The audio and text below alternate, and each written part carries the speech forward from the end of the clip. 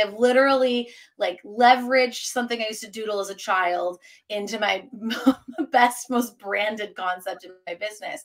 So the cloud represents where your target clients or customers are right now psychologically. What is going on for them that is frustrating that they don't want. Some people call that the problem, the pain points, all that. Those things people can get a little annoyed by. But essentially, what is going on for them right now that they don't like, that they're frustrated with um, as it pertains to your offer? So that's that core problem.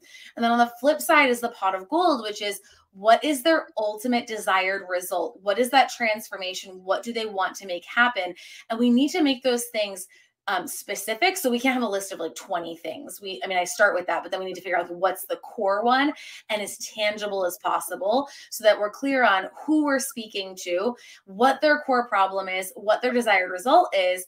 And then the rainbow represents your offer, your business, whatever it is you're selling, as the bridge between those two places.